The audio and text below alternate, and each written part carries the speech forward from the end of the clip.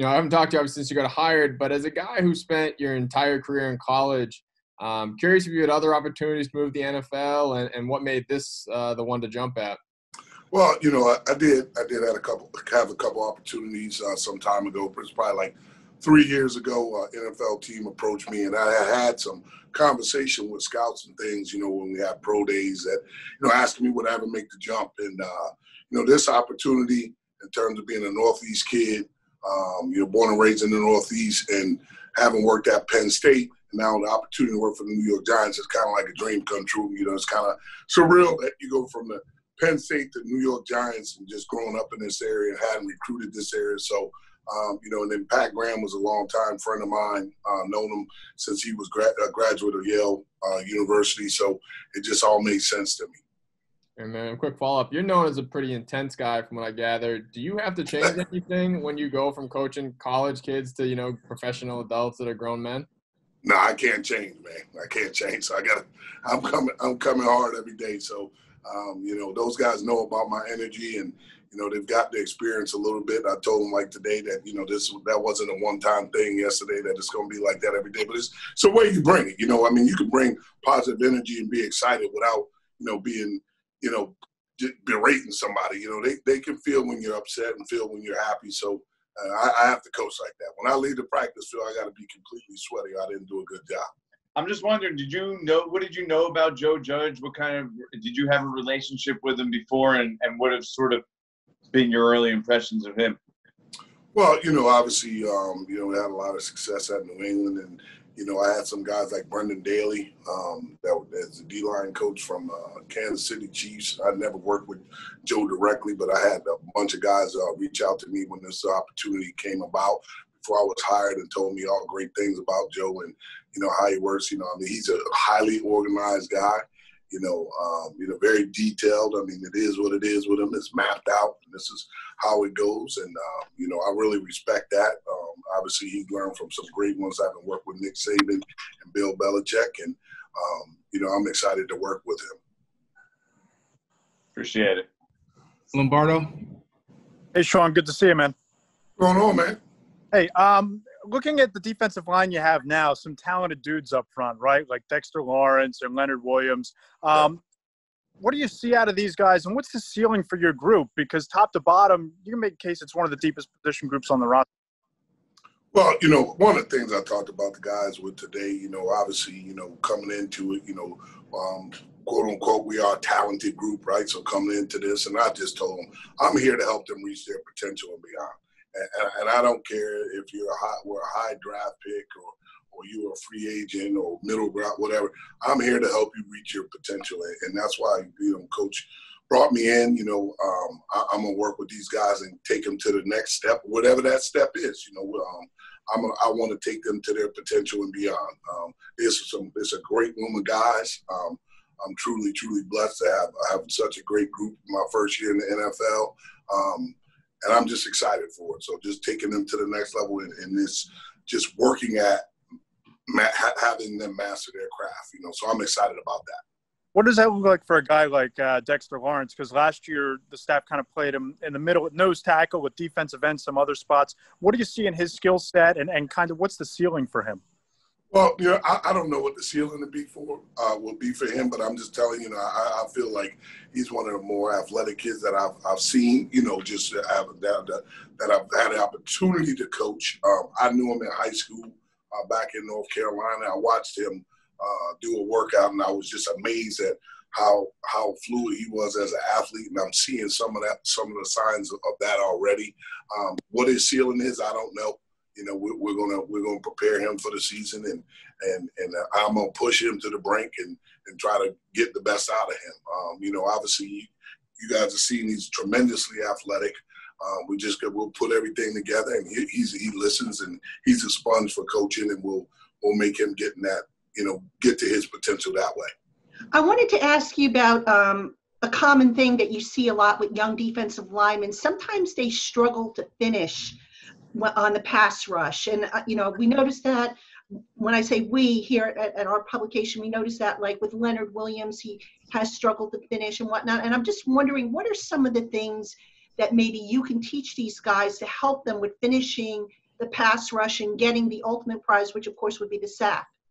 Right. So that's a great point. You know, what I do is I stand on the sideline at practice, and if they don't get to the quarterback, I chase them to the ball. So that's a good drill call. I'm gonna chase you to the ball until you get to where you're supposed to go.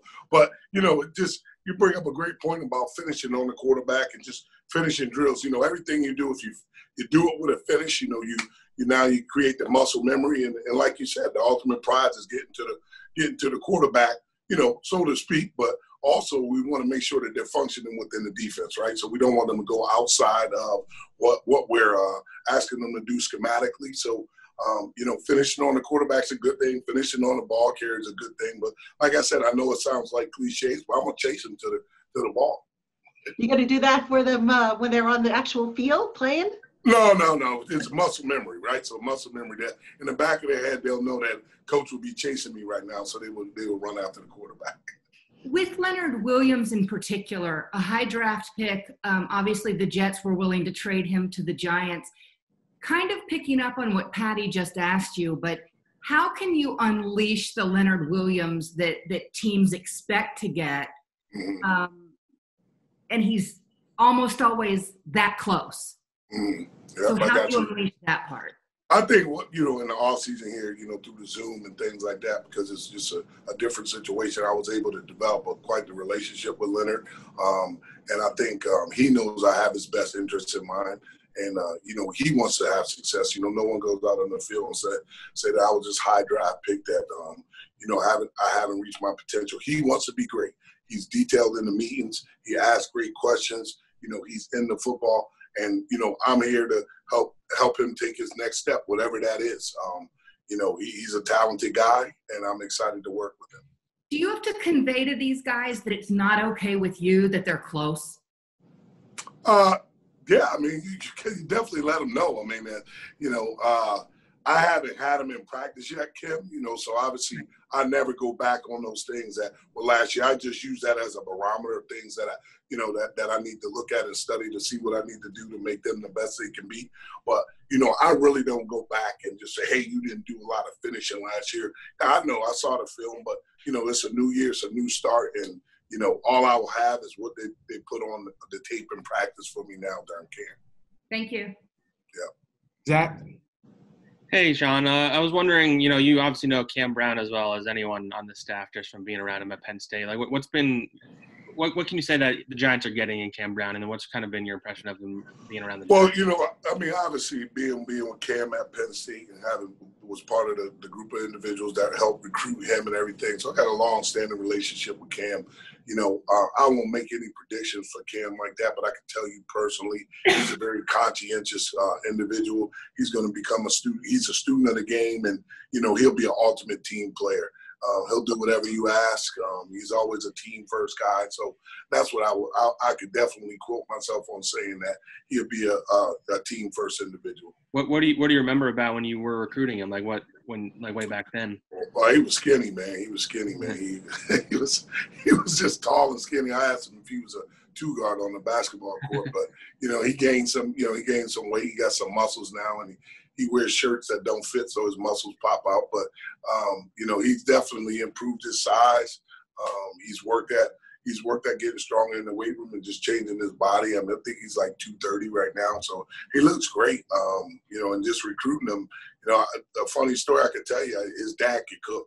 I mean, I don't know if I mean, his dad could cook. I mean, that was some of the best food I've ever had in my life. So. What did he cook you? uh, we I can't tell that secret. I can't tell that Worth a shot. Because his mom will get mad. Thanks, man. Yeah. Last question here, Rock. Sounds like his dad was recruiting you instead of the other way around, maybe. No, that was the fun thing about going on those home visits. You get to you, you get to go to different families and get food and things like that. One kid in particular, we didn't have a dinner, but that's a whole nother story. Uh, you mentioned earlier about how you told the players that uh, I guess yesterday's energy wasn't an aberration. Uh, right. You're going to continue.